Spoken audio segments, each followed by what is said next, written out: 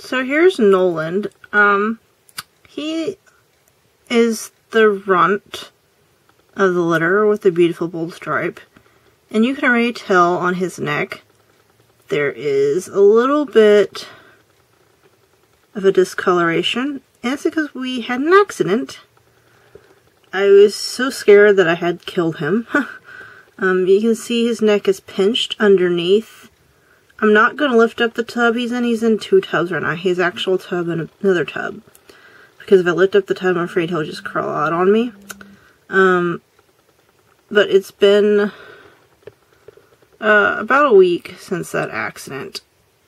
And he is pinched underneath the neck. It looks more pinched underneath. Thankfully, right after that happened, he did actually, when I gave him fresh water, um, went straight for the water bowl. So that made me feel a little better. Um, so I think he's doing okay, and I didn't want to feed him right away when that accident happened because I was worried that maybe his insides were a little too damaged for that. Um, just give me a second. I'm going to get some food out I have prepared for him. Uh, yeah. He's in a deli cup which had meat in it at one point. You can see the expiration date on that. Anyway, this is a bunch of meat I have here for him. And we're going to see if he's going to eat that. I don't know. He doesn't usually... Yeah, he's a little shy. And he usually eats on his own time. There's a hair in there. Let's get that hair out.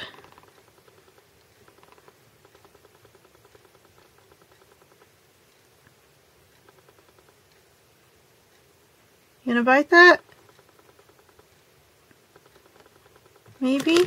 Oh, yeah, see, that's what he does. He gets jumpy like that, which is what happened last time. He totally freaked out and flew out of the tub, and then he was gone real quick, and then we had the accident. So I'm just going to go ahead and leave the food in with him. And, uh, no, you're not going out. I'll go ahead and give him a clean out, and I'll give him this food. So that's Noland. Um, We'll see if he eats his food in just a little bit. And don't even think about it.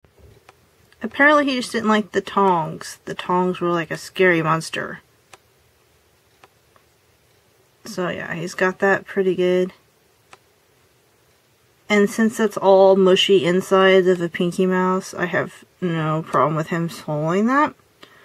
Which I think that's what I'll do, is I'll get a bunch of mush mushy insides of a mouse and feed him more this weekend when the other babies eat as well. But yeah, he took right to that without the tongs, so he doesn't like tongs. They're scary.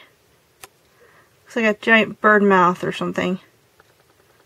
Which may have been uh, what it looked like exactly. I don't know. He's never seen a bird really, but definitely predatory.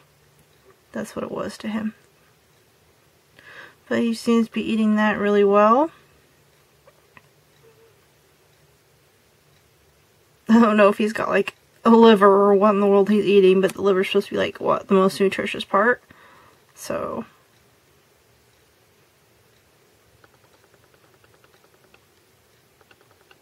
And it's going to be a while yet before he gets up to one day old Pinky Mouse size to eat.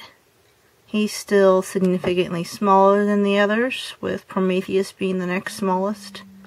Um, then, uh, who's next? Um, Faye and then Demigod being the biggest.